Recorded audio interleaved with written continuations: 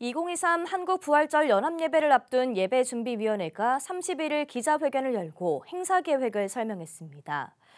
여의도 순복음교회에서 진행된 기자회견에서 이형훈 대회장은 3년 만에 대면으로 개최되는 연합예배로 교회와 사회에 희망을 주겠다고 전했습니다.